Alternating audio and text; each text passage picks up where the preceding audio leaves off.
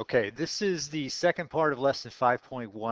We're going to talk about finding an equation for the inverse functions. And we're going to, the notation for the inverse function, this f with the little negative one with the x over it here is written, is said as, is read as um, f inverse. So it's the, the f inverse is how we read that whenever we, we come across this is f inverse and it's not to be confused. It's not the same as 1 over f of x like you might think of when you do this the this inverse thing on your calculator does that kind of function does that kind of operation on the calculator. That's not what we're talking about. We're talking about the inverse function which is different than that.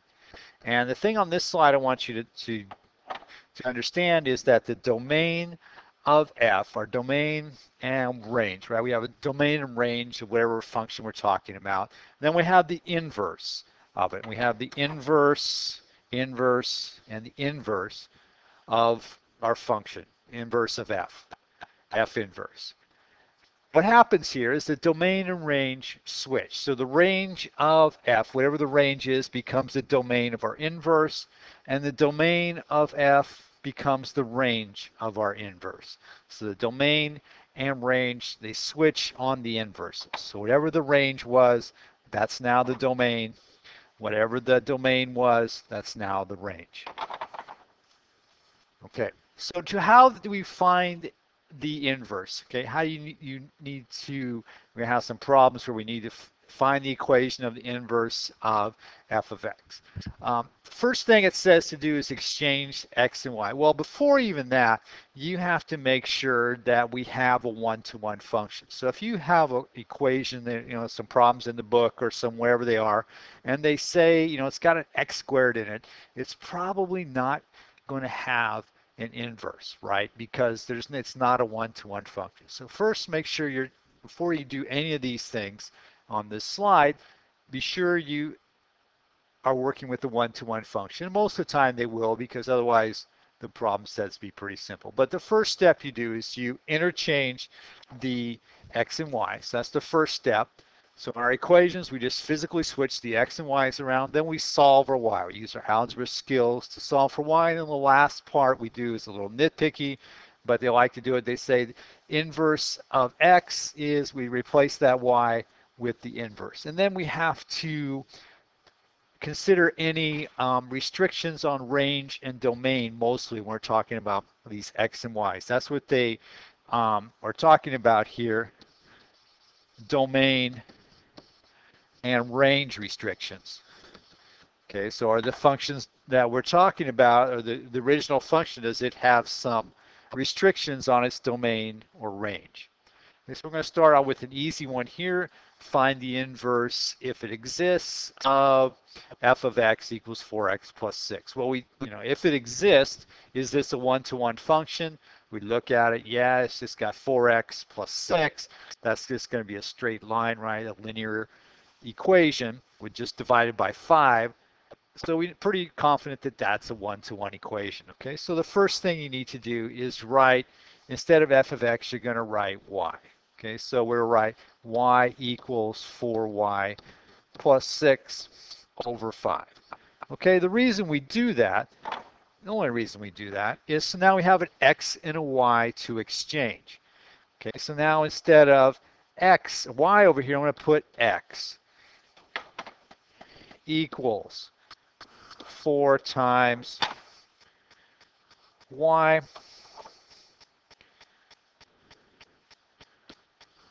plus 6 all over 5. Okay, so I just exchanged my x's and y's, right? I just exchanged them. Wherever I had an x, I put a y. Wherever I had a y, I put an x. Now I'm going to solve for y. I'm going to solve for y over here on the, the right side of the um, screen where I have more room. And first thing I need to do is multiply both sides by 5, get rid of that fraction there. So I'm going to end up with 5x equals 4y plus 6. Subtract 6 from each side. 5x minus 6 equals 4y. Divide each side by 4. 5x minus 6 over 4 equals y, right? So I'm going to write over here I'm going to write y equals 5x minus 6 over 4. Okay, so that's going to be um, my equation. That's my inverse. And then just to make you know the math people happy, I'm going to write the inverse of x. No, don't forget the negative 1 there. Equals 5x plus 6 over 4. So we just started with a basic example. We're going to do one a little harder in a minute, but that's the that's the um, the process you go through, right? From this, interchange the x and y, solve for y, and replace it with that, and make sure there's any restrictions that should be considered. Okay, do we have any restrictions to consider on this? No, this is, you know, there's, this is defined for every x and y. The, the domain is negative to positive infinity. The range the same, same here. So the range, there's no restrictions on the range and domain here, no restrictions on the range and domain in our inverse either. Okay. The graph of the inverse of x, if f and the inverse are, are inverse functions and f of a equals b, so we put some value in our um, f function, I got a b value out of it for real numbers a and b, then the inverse if I put B as the input for the inverse, I'm going to get A out of it. That's what we did the other day when we had that function of, um, we put 10, you know, 8x and 1 8 x. We had those two functions. Those are inverses of each other. Um, this one, AB, if we have a point on a graph AB and BA is on the inverse. So the x's and y's are switched, right? We um, switch the x and the y.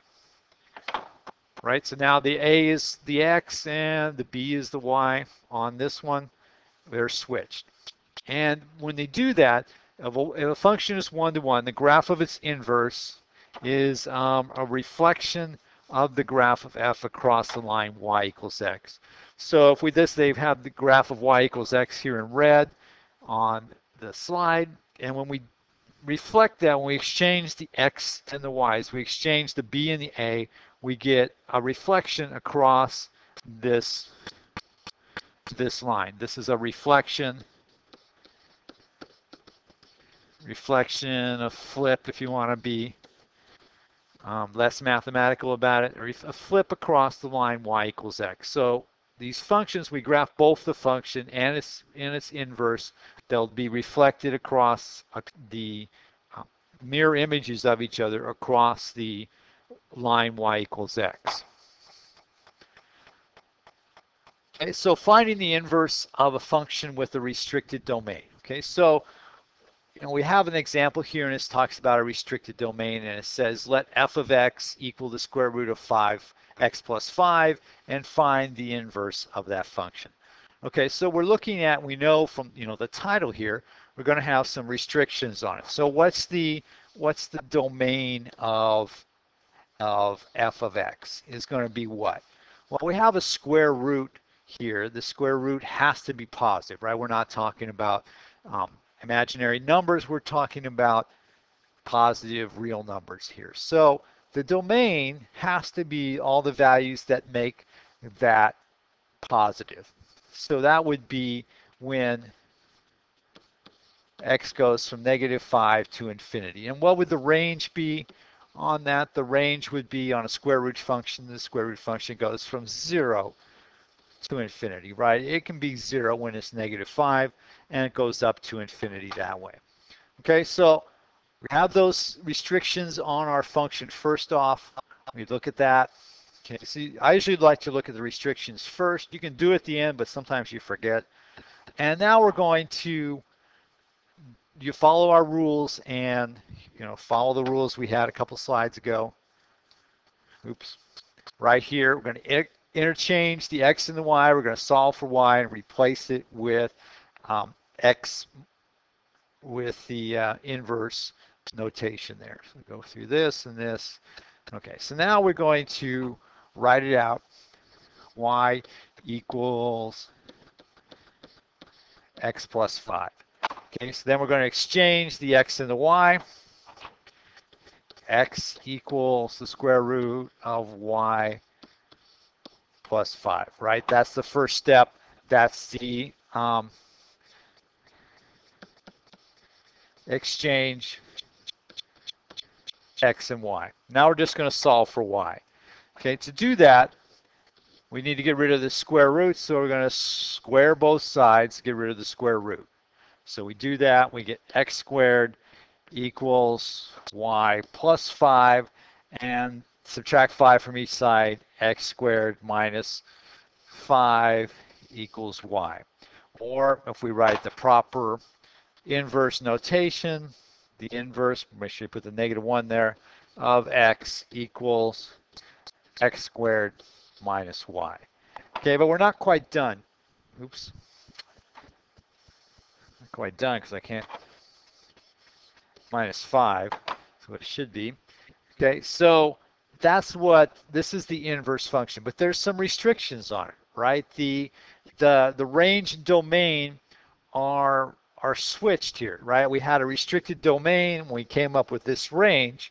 And so this function here has a restriction on it, right? The, so the restriction on our inverse function, this is a, you know, this is our, you know, it's an x squared down here, you know, at minus one. I didn't draw it very well, but it's an x squared, it's a parabola, right, at the, going down here, just shifted down a little bit at negative 5, right? That's what it looks like. So there's no real restrictions on this domain as it's written right here, but because it came as an inverse of a function that was restricted, we're going to have to put some restrictions on it, right? Because that's function, the other function that it's the inverse of is not defined everywhere. So this function, this inverse function, is only good when the when the domain is the domain is from uh, it can be zero to um, infinity when x is from zero x is from zero to infinity. So if we um, write that x is greater than or equal to zero would be another way to write that. Okay so that's we have to have that restriction on our inverse function. We have a function we started with, the f of x function had a restricted range and it had a restricted domain that we're going to have to have those restrictions on the inverse. And remember the, the range now is the domain, the domain now is the range. And if we graph those functions, they um, put the graph over there. I want to change the properties. I want it to start at um, change how this looks a little bit so we can put them on there. Well, maybe I'll put the other one on first before I do that. Okay, I'll put the other one on and we get that. And I want to change how this looks a little bit so we can see both graphs. And I change the properties here. And um, negative 5, 5, oops.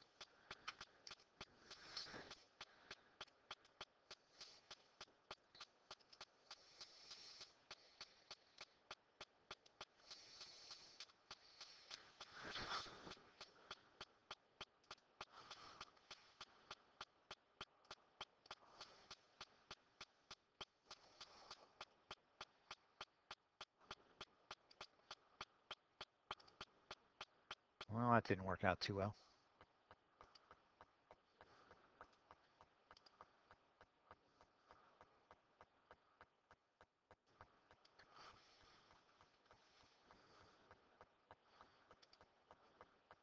Okay, that's better.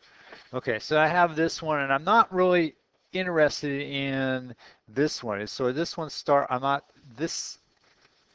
This part of of this graph is not in play, right? Because that x had to be, um, the restriction on this one was that the x had to be greater than or equal to zero. So this part that I squiggled out in blue is not in not in play on it. And if I kind of dash lines, well, let me. Uh, this is not quite how I wanted it.